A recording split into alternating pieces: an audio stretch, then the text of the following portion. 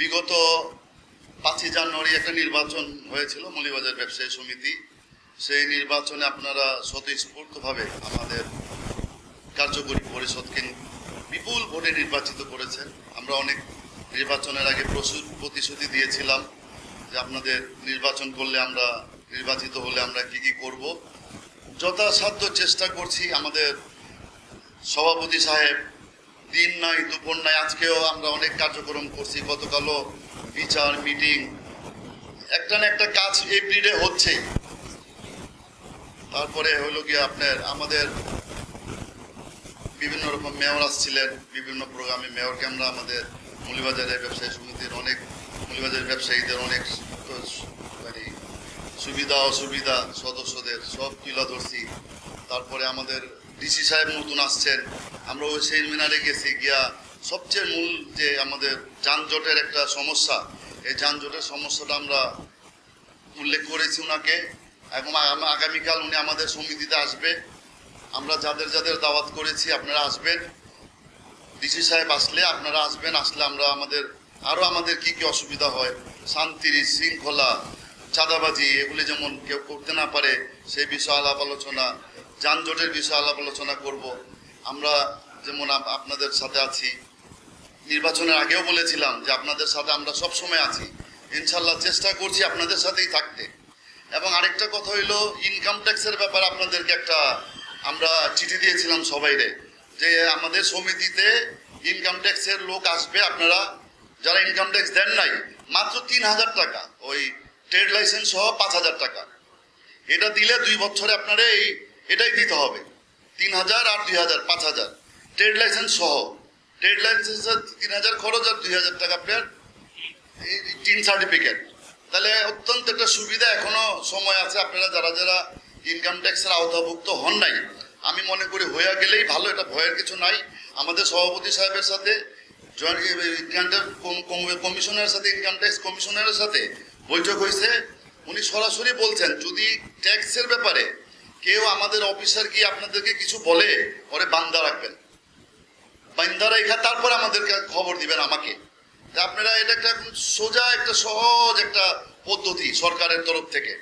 আমরাও আগে আসি, সমিতির তরফ থেকে আমরা আহ্বান করছি আপনাদেরকে ইনকাম ট্যাক্সের ব্যাপারে।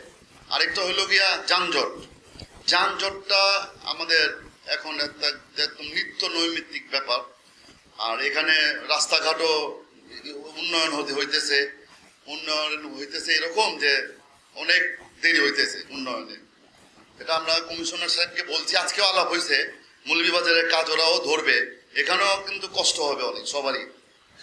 আমরা বিভিন্ন রকম মৌলভীবাজার ব্যবসায়ী সমিতির কার্যক্রম চালিয়ে যাচ্ছি, আমাদের ব্যবসায়ীদের যেভাবে ভালো হয়, যেভাবে সুবিধা হয় আমরা করতেছি।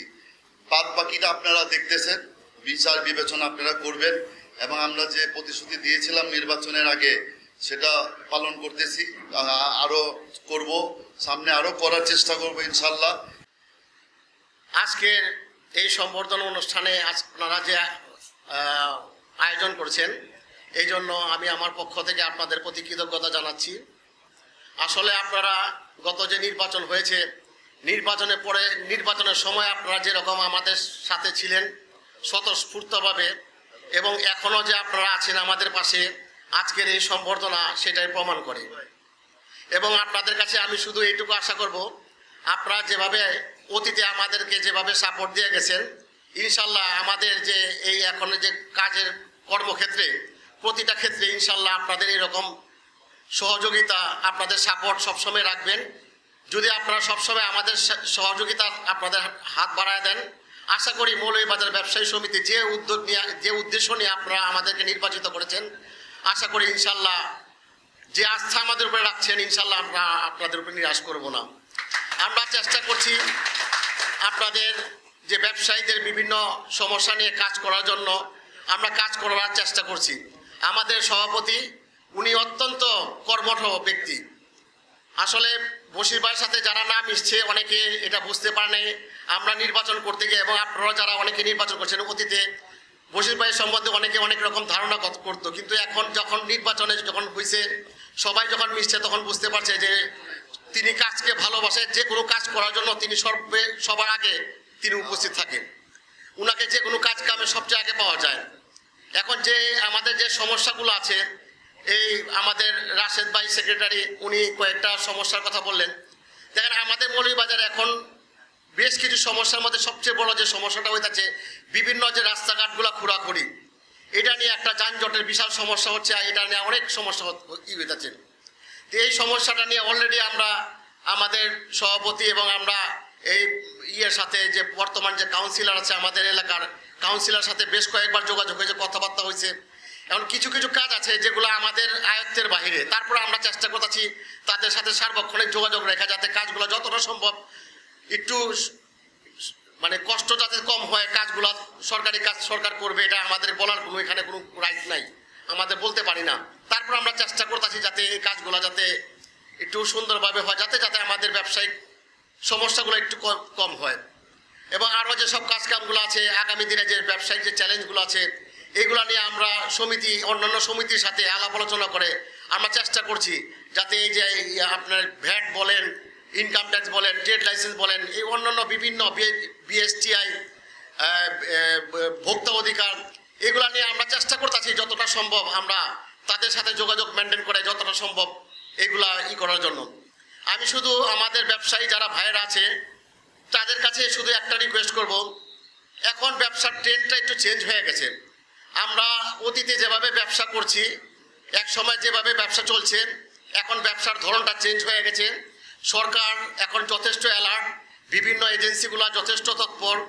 এখন ওই আগের দিনে যে মামদাতা স্টাইলের ব্যবসা করতে গেলে এখন অনেক ধরনের ঝুট ঝামেলার সম্মুখীন হইতে হয়। এখন এগুলা হইতে হইলে হয় কি, একজনের জন্য আরেকজনের সমস্যায় পড়ে পড়ে। এখন আমরা যারা এখানে ব্যবসায়ীর আছি, আমাদের চেষ্টা থাকতে হবে যাতে আমরা যে সরকারি যেসব নিয়ম কানুনগুলো আছে, এগুলো যথাসম্ভব আমাদের এগুলো মেনটেন করা চলতে হবে। এগুলোর উপরে আমাদের কোনো, কারও কোনো হস্তক্ষেপ চলবে না। এটা হস্তক্ষেপ করলেও আমাদের কোনো কাজ হবে না। এখন এগুলা যদি আমরা যতটা সম্ভব যদি মেনটেন করে চলি, ওদের সাথে আমাদের সাথে আলাপ হয় ভোক্তাদের তারা বলে যে, আপনারা এগুলা ই করেন, আমরা এখানে আসতে চাই না। কিন্তু আমরা বিভিন্ন জায়গা থেকে বিভিন্ন প্রবলেমগুলো পাই। ওখান থেকে প্রবলেমগুলো বলে, কোথা থেকে তৈরি হয়েছে তৈরি হয়েছে উৎপত্তি বাজারে বিভিন্ন দোকানদারের নাম দেওয়া দেয়, এখান থেকে মালগুলা নিচ্ছি বিভিন্ন দুই নম্বর মাল বা অন্য রকম মাল ডেড এক্সপায়ারি মাল বা অন্য অনেক অবৈধ মাল। মৌলিবাজারের নামটা আইসা যায়, চকবাজারের মালটা আইসা যায়। তখন অটোমেটিক তখন করা কি যে চকবাজারের ভিতরে আইসা যায়। আইসা গেলে অটোমেটিক এখানে মার্কেটের মধ্যে একটা অস্থিরতা তৈরি হয়। এখন এই জন্য আমরা যারা ব্যবসা করি, আমাদেরও কিছু দায়িত্ব, কর্তব্য আছে যে আমরা এখন যে সরকার যেভাবে নিয়ম কানুনগুলা দিচ্ছে, এই নিয়ম কানুনগুলো যতটা সম্ভব ফলো করা যায়, এগুলো মেনটেন করে আমাদের ব্যবসা করতে হইব। এটার উপরে আমাদের কোনো হস্তক্ষেপ নাই। এখন এছাড়া যেসব আপনারা যাতে কোনো ধরনের একটা অবৈধ বা অন্য মানে অহেতুক হয়রানি না হন এই জন্য আমরা সবসময় আপনাদের পাশে সবসময় ছিলাম। ইনশাল্লাহ ভবিষ্যতেও আমরা থাকব। আশা করি ইনশাল্লাহ আমরা যদি সুন্দরভাবে এখানে ব্যবসা করি, মৌলবাজার ব্যবসার পরিবেশটা আশা করি আগামী দিনে ইনশাল্লাহ হয়তো আর একটু সুন্দর হবে। হয়তো আপনারা অনেকে খেয়াল করছেন, ইতিপূর্বে আমাদের এখানে যে ওই যে আপনার দেখতেন র্যাবের বা ইয়ের বিএসটি প্রচুর এখানে রেড হইতো। আল্লাহর রহমতে আমাদের নির্বাচিত হওয়ার পর বিগত অনেক দিন যাবৎ মোটামুটি অনেকটা ভালো আছে। ঠিক কিনা ভাই? মৌলিবাজারের ইয়ের ব্যাপারটা, যে এই যে দুই নম্বর, এখন এই জিনিসগুলা আমাদের পরিবেশটা ঠিক করার দায়িত্ব আমাদের অনেক কিছু আমাদের উপর নির্ভর করে। এখন এই জন্য আমরা নিজেরাও সচেতন থাকতে হইব। নিজেও দুই নম্বর করব না ভাই, এবং অন্যজন যাতে দুই নম্বর যাতে করে, না করতে পারে, এই ব্যবস্থা করতে হইব। কারণ আমি দুই নম্বরই করলাম না, কিন্তু আমার পাশে যদি দুই নম্বরে যদি ই থাকে তাহলে এইটার জন্য ভুক্তভোগী আমাকে হইতে হইব। এখন এই জন্য নিজের ঠিক থাকার জন্য, নিজে বাঁচার জন্য আমার যে আশেপাশের পরিবেশটা, এটা ঠিক করার দায়িত্ব আমার। এই জন্য আমরা সবাই এই ব্যাপারে অ্যালার্ট থাকব, যাতে ইনশাল্লাহ আমাদের এখানে এই যে বিভিন্ন যে ঝুট ঝামেলাগুলো যতটা সম্ভব কম হয়। আর এছাড়া যেসব অন্য অন্য সমস্যাগুলো আছে, এই সমস্যাগুলো নিয়ে ইনশাল্লাহ আমাদের সমিতির যে ঊর্ধ্বতন ইয়েরা আছে, কাজ করতেছে, অন্যান্য সমিতির সাথে, আশা করি ইনশাল্লাহ ওনারা ওনাদের যথাসাধ্য চেষ্টা করছে যাতে সব কিছু সুন্দরভাবে চলে। মৌলিবাজার হচ্ছে পুরাতন ঢাকা শত বর্ষের ঐতিহ্যবাহী ব্যবসা কেন্দ্র। যেখানে চিনি, তেল, মশলা, কসমেটিক সহ নানান নিত্য প্রয়োজনীয় জিনিস, ভোগ পণ্যের অধিকাংশই এখানে হতে সারা দেশে সরবরাহ হয়ে থাকে। সারা দেশের পণ্য সরবরাহ স্থিতিশীল রেখে পণ্যের বাজার মূল্য ভোক্তা ক্রয় ক্ষমতার মধ্যে রাখতে মৌলিবাজার ব্যবসায়ীদের অবদান রাষ্ট্রীয়ভাবে প্রশংসিত। এমনই একটি গুরুত্বপূর্ণ ব্যবসায়ী এলাকা, ব্যবসায়ী সংগঠন হচ্ছে মলিবাজার ব্যবসায়ী সমিতি, যা অত্র এলাকা ব্যবসায়ীদের অভিভাবক হয়ে নিরস্বভাবে কাজ করে যাচ্ছে দীর্ঘদিন যাবত ব্যবসায়ীদের নানাবিধ সুবিধা অসুবিধা সম্মুখে দেখাশোনা করে এলাকার ব্যবসায়ীকে পরিবেশ বজায় রাখার ক্ষেত্রে মৌলিবাজার ব্যবসায়ী সমিতি যে গুরুত্বপূর্ণ ভূমিকা রেখেছেন, রেখে যাচ্ছেন, তার জন্য সমিতির সকল সদস্যকে সাধুবাদ শুভেচ্ছা জানাচ্ছি। এমনই এক ঐতিহ্যবাহী ব্যবসায়ী সংগঠনের নবনির্বাচিত কার্যকরী পরিষদের জাহাঙ্গীর ভবন দোকান মালিক সমিতির পক্ষ থেকে ফুলের সম্বর্ধনা দিতে পেরে আজ আমরা সত্যি গর্বিত ধন্য। মাঝখানে একটা কথা আমি বলি আপনাদের কাছে, যদিও আজকে বলার এই কথা না, তারপরে বলি আপনাদের যখন আমরা পেয়েছি এক মঞ্চে সবাইকে, তা আমরা ব্যবসায়ীরা বা দোকান মালিক সমিতির যারা আছি সবাই কিছু না কিছু একটু অসুবিধা আছে, বিগত কিছুদিন যাবত এদিক যদি আপনাদের দৃষ্টিটা নিতে পারি, তো মনে হয় আজকের এই সম্বর্ধনা অনুষ্ঠানের সাথে সাথে আমাদের অনেকটাই কাজ হবে। যেমন আমাদের দাবি হচ্ছে, রাস্তা খোঁড়া করে জাম রাস্তা খোঁড়া করে জাম যে অবস্থাটা, এই কাজগুলো যদি সময় মতো শেষ করতে হবে বা শেষ করা যায় তাহলে কিন্তু আমাদের অসুবিধাটা হয় না। দ্বিতীয় হচ্ছে প্রফেশনাল ট্রাফিক দিয়ে যদি যানজট নিরসন করা হয়, খুব দ্রুত আমার মনে খুব দ্রুতই এই কাজ দুটা করা যায় যদি সমিতি সবাইকে নিয়ে চেষ্টা করে। সমিতির এখানে অনেক কর্মকর্তা বড়, বরঞ্চ সমিতির টোটাল সমিতিটা আছে, তাদের কাছে আমাদের একটাই দাবি, যদিও দাবির আলোচনা না আজকে।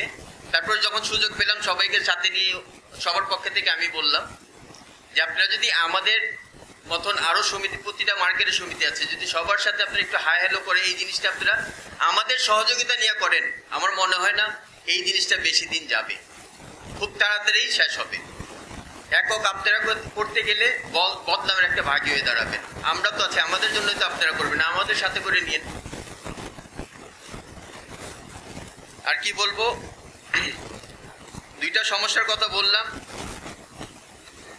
আমার মনে হয় পরবর্তী যে বক্তা বা সভাপতি সহ সভাপতি বক্তৃতা দিবে, তারা হয়তো আমাদের এই সমস্যা সমাধানের ব্যাপারে আপনাদের জানাবে।